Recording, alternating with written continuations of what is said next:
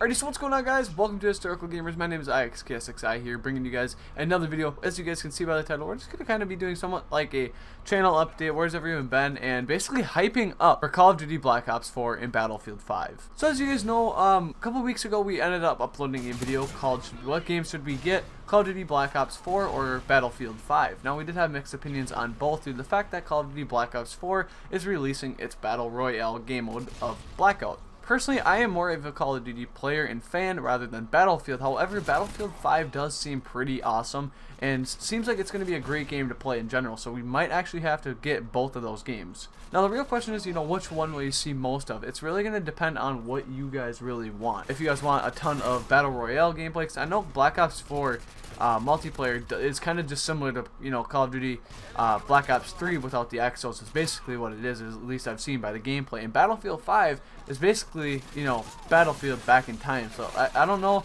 uh, you know I don't know how the new games are going to be. It's going to seem pretty sick.